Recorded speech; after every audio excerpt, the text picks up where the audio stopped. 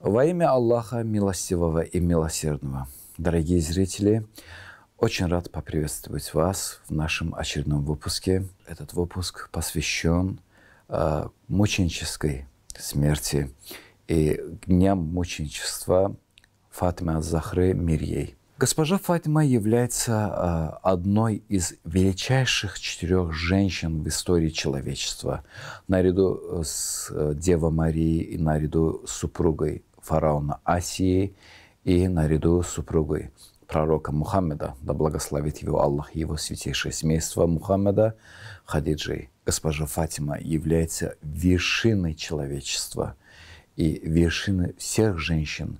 Не зря госпожу Фатиму называют госпожой всех женщин, всех мирских женщин и всех женщин загробного мира. Пророк Мухаммед, да благословит его Аллах и его святейшее семейство, соизволил. Фатима является частичкой меня. Фатима является частицей моей души и моего тела. Это непорочная, это святейшая госпожа является олицетворением школы пророчества, является защитником школы пророчества и школы имамата. За свою короткую жизнь которая длилась всего лишь 18 лет, она успела и служить пророку, и служить своему мужу, повелителю правоверных Али ибн Абу Талибу. Она успела защитить школу пророчества и школу имамата и пала мученической смертью ради этой борьбы. Она олицетворяет борьбу не только женщин и всего человечества против гнета, против любого типа, любой разновидности гнета.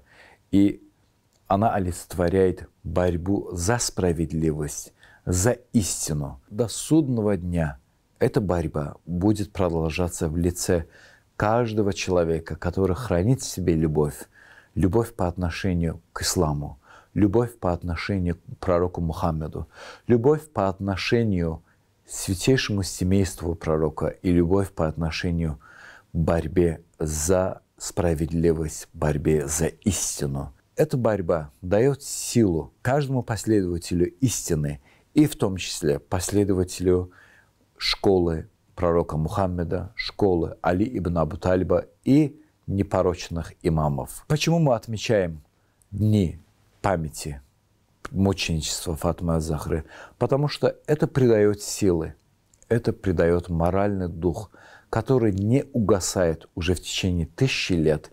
И с каждым годом не только что угасает, но еще ярко воспламеняется и еще становится очень сильнее и в деяниях людей, и в наших душах, и в нашем мировоззрении, и в наших взглядах, и в наших словах, и в наших мыслях. Пока школа пророка Мухаммеда, да благословит его Аллах и его святейшее семейство, существует, процветает, продвигается и мотивирует миллионы людей.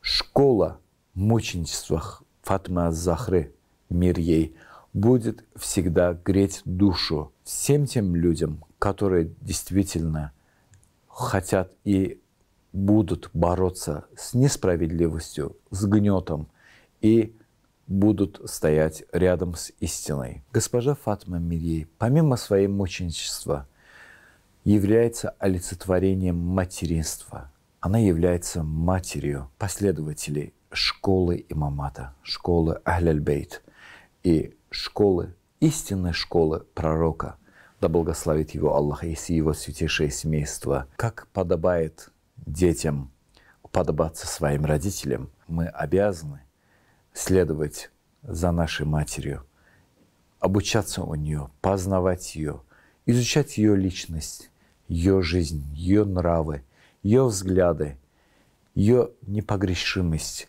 И это должно стать основой для всей нашей жизни и нашего мировоззрения. Приношу свои соболезнования каждому, кто хранит в себе любовь к госпоже Фатиме и всему Аль-Бейту по поводу дней поминания мученичества этой госпожи и да благословит Аллах святейшее семейство пророка и весь его род.